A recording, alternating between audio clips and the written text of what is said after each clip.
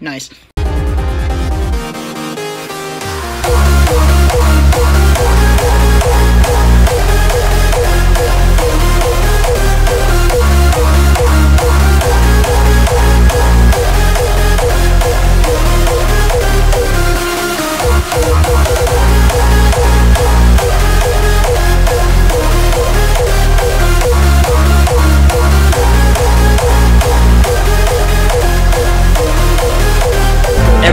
little bit of in them.